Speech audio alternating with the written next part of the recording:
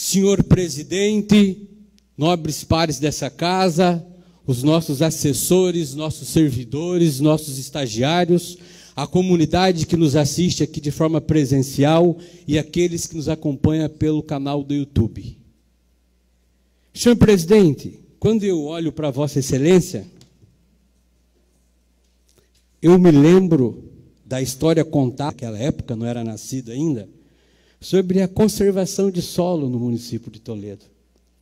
Os programas de microbracias, vereador Valdir Rosseto.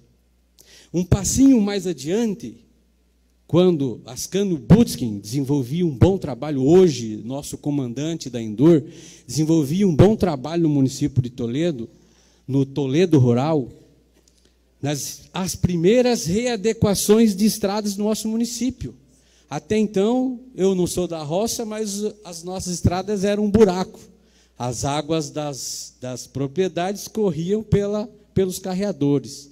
Com esse programa desenvolvido na época, comandado pelo Ascânio Butz, que nosso comandante da Endur hoje, nós fizemos as readequações das estradas, que permitiu o quê, Valdomiro Bozó? Permitiam um novo momento, um novo olhar para o homem do campo daquela época. Marlisanete, lá nos anos 80, início dos anos 90, a monocultura, que aqui na época era soja e o trigo ainda estava diminuindo, mas ainda era o trigo, nós tínhamos um problema do jovem, do homem do campo, que não queria ficar no interior. Não queria ficar no interior. Então precisava passar por um processo de reestruturação das estradas, das escolas, da valorização do homem do campo, fazendo com que hoje, vereador Genivaldo Jesus, quando nós apontamos o valor bruto da produção 4 bilhões, quase 4 bilhões e, e 500 milhões, se dá por quê? Um, um, uma política pública implantada lá atrás fez com que o homem do campo não só ficasse em suas propriedades, e fazendo inclusive, é, Geraldo Weissheimer, a diversificação. A diversificação. Ali que começou a questão da bacia leiteira, dos açudes para produção de leite, mais suínos, mais aves. E é por isso, Beto Scain, que hoje nós temos esse valor bruto da produção. Políticas públicas na veia, ali, ó, na veia, onde tem que ser. Isso é estar atento, isso é estar atento ao futuro. A visão de futuro, você precisa formar infraestrutura, incentivar com que isso aconteça para anos depois colher os frutos.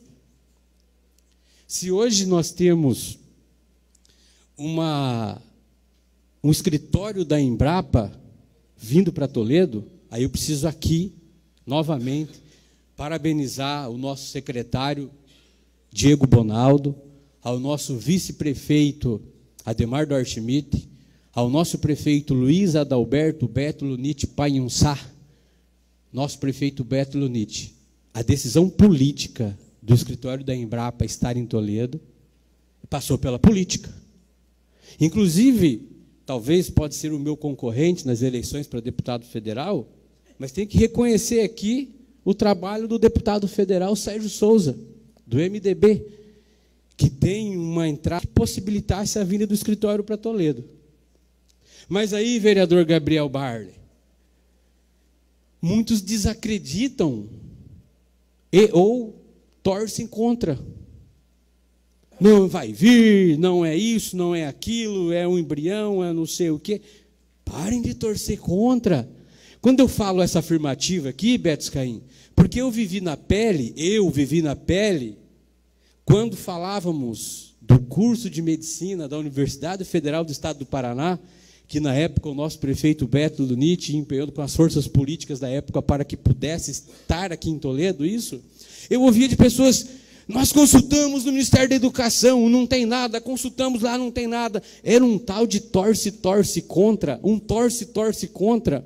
Não queria que o Beto Lunite faturasse, que o deputado na época Elton Welter faturasse, que a Gleice faturasse torciam contra. Olha só que legal, Jair Scarpato.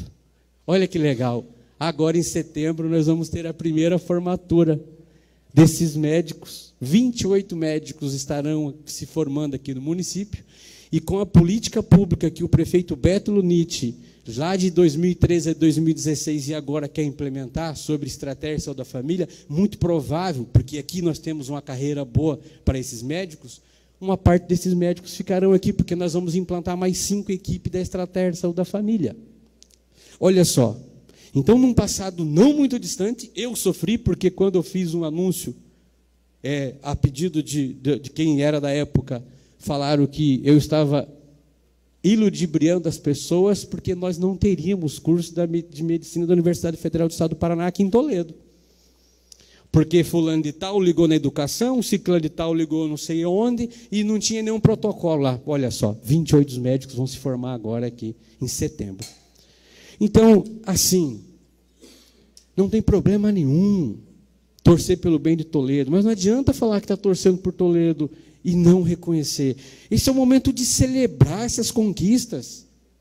Valdomiro Bazó, nós não temos noção da importância que é esse escritório da Embrapa para desenvolver aquilo que nós produzimos bem. Peixes e suínos, o maior produtor de peixe do Paraná. Olha a nossa cadeia de suínos do Paraná, feito aqui em Toledo. Pesquisa, pesquisa e inovação. Então, aquilo, Bisonin, que tu fizeste naquela época, o que o Ascanio Butskin fez naquela época, também fora responsável por nós alcançarmos esses índices nos dias de hoje. E hoje, essa conquista, que não pode tirar o crédito de Diego Bonaldo, Ademar Dorschmidt, Beto Lunite, que dará o rumo, Beto Caim, que dará o rumo de inovação e pesquisas para os próximos anos. É importante que a iniciativa privada venha junto nessa caminhada, mas não podemos esquecer que essa conquista está ligada, está ligada com o gabinete do prefeito e foi na política que isso veio para Toledo.